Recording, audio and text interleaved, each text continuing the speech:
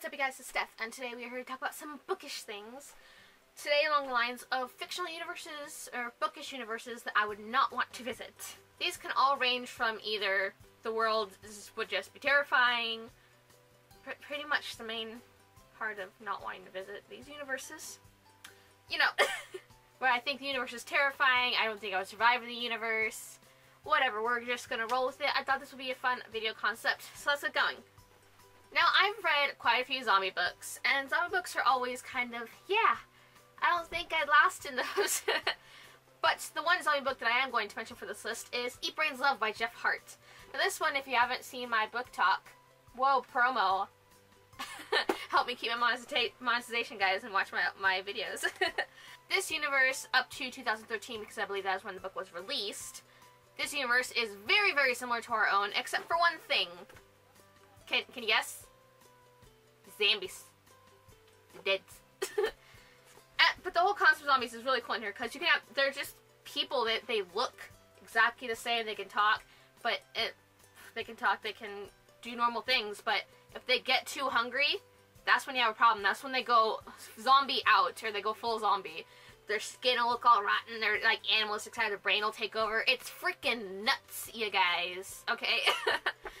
And I just like it freaks me out to think I could be having a normal conversation with someone just like, wait, you okay, bro? And then someone eat me and then they come back to normal like, ah, ah, shit. I mean, how terrifying would that be? And then like, they just eat you. No one's gonna find you and like, oh, they're zom- they're like half zombie. And it's scary. It's a scary thought.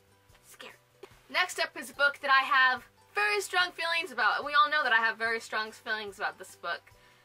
But that's Children of Eden by Joey Graceffa, and if you've watched my channel for a while, you know I have strong feelings about this book.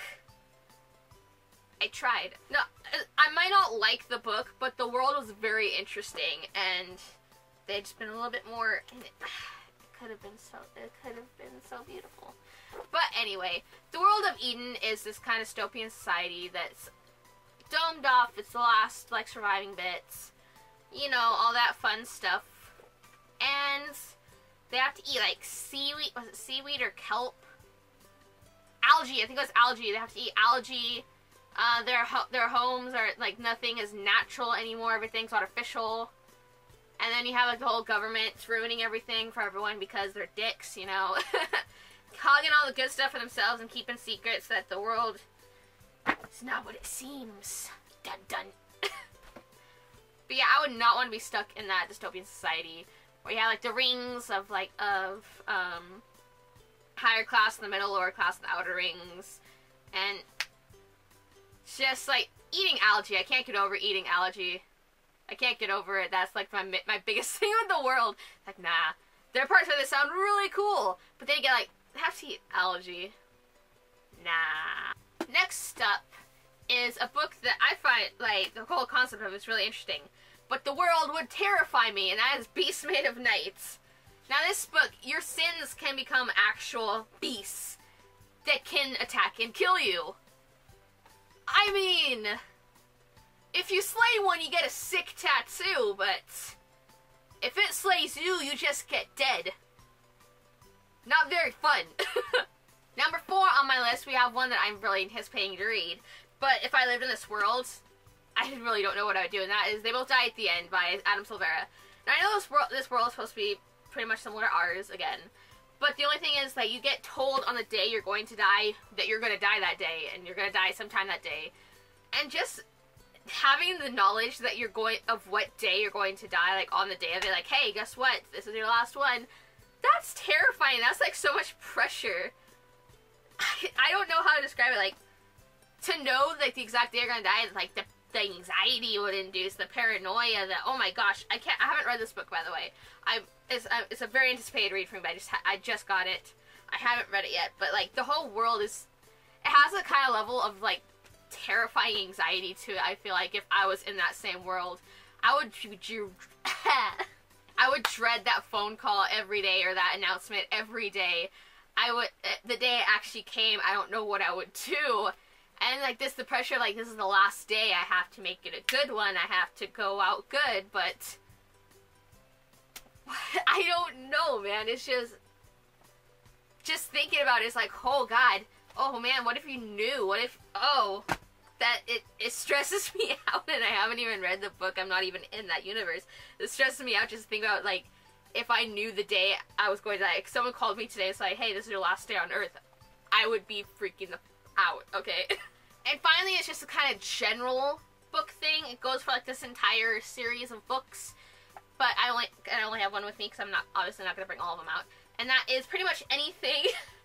any of the Fear Street novels by R.L. Stine, any of his uh, kind of teen Fear Street novels, yeah, these get kind of, um, yeah, these were always th- these are the horror stories that really hooked me in the reading. R.L. Stine is one of my favorite authors, as you guys may or may not know. He is one of my absolute favorite authors. He's one of my biggest inspirations in this world, and his books, like, I would hate to live on Fear Street or like live around Fear Street. Like, oh my goodness, I love these stories so much. I actually need to, need to start reading them again. But just the horror that always comes with living on the street or knowing someone on the street and just like the connection to it and his universes are always always have that little terrifying factor they always have like the darkness to them i love it so much but living in it no i would never leave my house even that can be dangerous i mean we have so many books about things that were already in the house from R.L. Stine. Stay out of the basement. Fun times. And there guys go. There's five fictional universes that I would not want to visit because I kind of value my life. So I would not want to visit those fictional universes. Although it might be cool if I could just pop in really quick, say hey, bye, and then pop right back out. But if I was stuck in them, I wouldn't be having a good time. Okay. If you like my video, please give it a thumbs up and let me know down in the comments below what fictional universe do you not want to visit. Would you not want to go to the Harry Potter universe because of all the chances of death, or would you totally go because I think I would? I would totally go. I mean, magic, magic, magic. would you avoid the Hunger Games at all costs? I think that would be a good one to put on here, but I never read those books. Whoops, The Secret's Out. I think I've said it in a video before too, though. But yep, I never read the Hunger Games. Doesn't seem like a fun universe though. Whatever fictional universe you don't want to visit, let me know down in those comments below because let's talk about it. I think it'd be fun to discuss different universes we would and wouldn't visit. If you're new to my channel, hey, do you like what you saw? You can always hit subscribe down there on my little face icon right here because it really helps me out and lets me know that you enjoy my content. You'll be notified as to when I post future content on every Monday, Wednesday, and Friday. If you like seeing Monday's video where I talked about some other fictional universes in the musical genre, check that out right here. If you want to see a mystery video that I haven't decided what which one is going to be yet, but it'll be here, right here, you can check that out right there. And that's all I've got for you guys today. I really hope you have a lovely day slash night, and I'll see you later.